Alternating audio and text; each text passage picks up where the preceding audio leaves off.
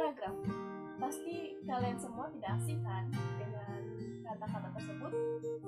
Apa sih paragraf itu?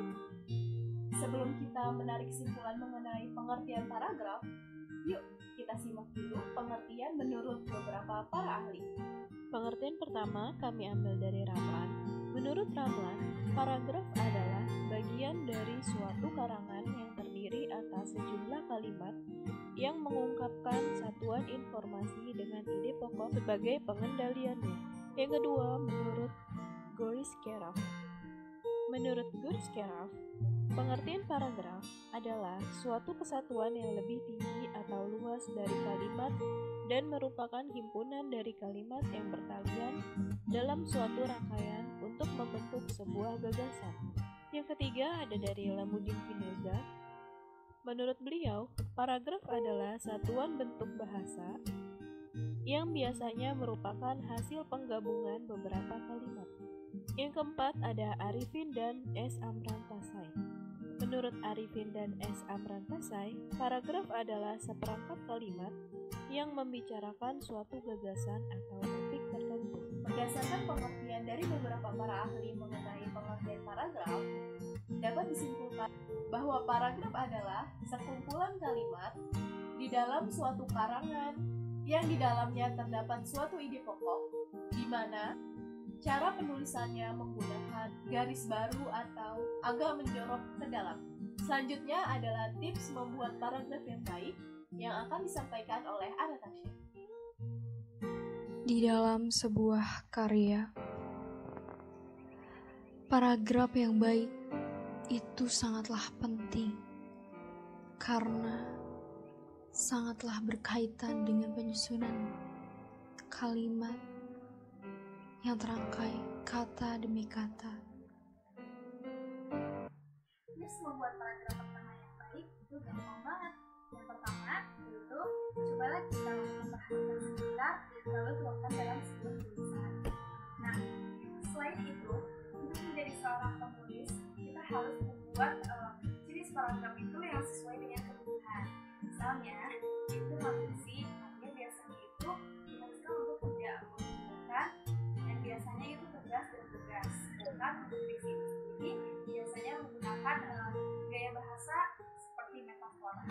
Tips membuat paragraf pertama bisa kita lihat di sini dengan karyanya Kak Irwan Bajang yaitu menemukan jurus-jurus menulis belajar dari penulis dunia yaitu yang dikemukakan juga bahwa di sini ada penulis novelis yaitu Ernest Miller Hemingway yang memiliki penghargaan Nobel dari uh, karya-karyanya yang berpengaruh.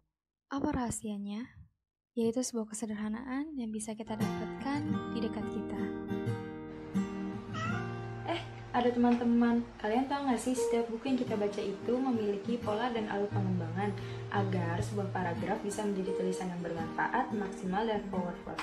Nah, kalian tahu nggak pengembangan paragraf itu seperti apa? Yuk kita bahas. Oke, jadi di sini aku punya infografi tentang jenis-jenis paragraf berdasarkan letak gagasan utamanya. Yang pertama itu ada paragraf deduktif, paragraf yang terletak gagasan utamanya atau pikiran utama di depan dan pikiran penjelas di belakang paragraf. Yang kedua itu paragraf induktif, paragraf yang letak gagasan utamanya atau pikiran utama di belakang dan pikiran penjelas di depan paragraf. Yang ketiga ada paragraf campuran, paragraf yang letak gagasan utamanya atau pikiran utama berada di awal dan akhir paragraf. Yang keempat ada paragraf inaratif, paragraf yang letak gagasan utamanya atau pikiran utama berada di tengah paragraf. Bagi sebagian penulis, paragraf ini jarang dipakai karena dianggap tidak jelas. Nah, sekarang kan kita udah tahu jenis-jenis paragraf berdasarkan gagasan utamanya. Selanjutnya kita lihat contohnya ya. Contoh jenis-jenis paragraf. Yang pertama itu paragraf deduktif. Ayo kita baca bersama-sama ya. Indonesia adalah surga wisata. Ada Bali yang terkenal sebagai Pulau Dewata dengan berbagai wisata budaya dan wisata alam. Di Jawa terkenal dengan Candi Borobudur sebagai mahakarya warisan tradisi yang adiluhung. Di Sumatera terkenal Danau Toba yang yang eksotis. Jadi, di manakah gagasan utamanya? Nah, kalau deduktif kan di awal, berarti gagasan utamanya dari di awal nih.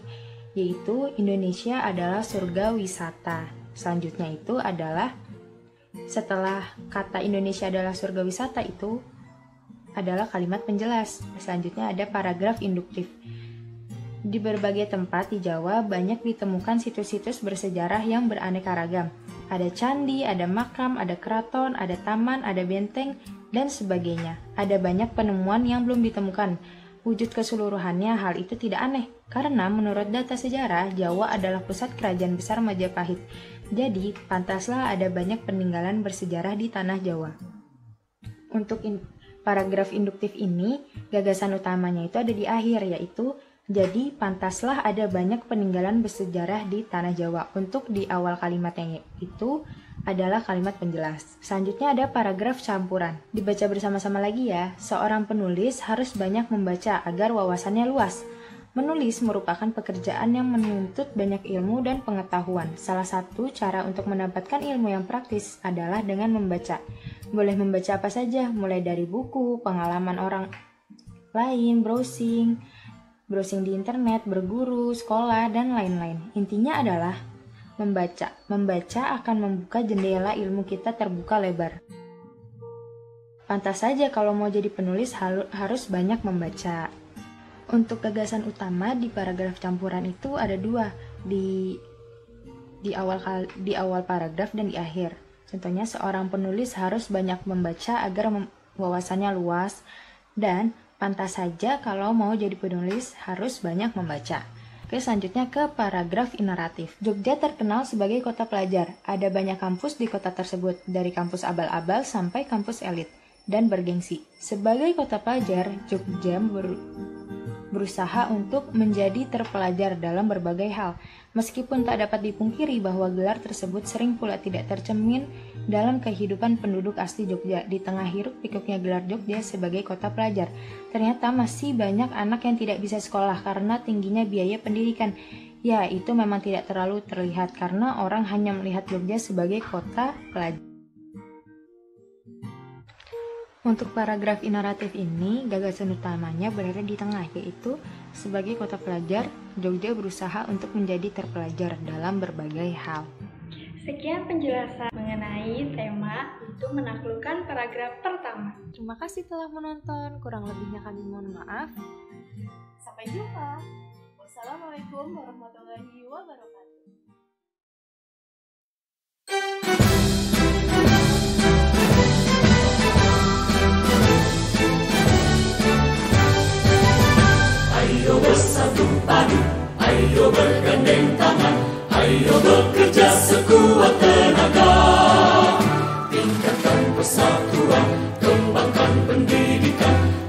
Masya Rakas Seca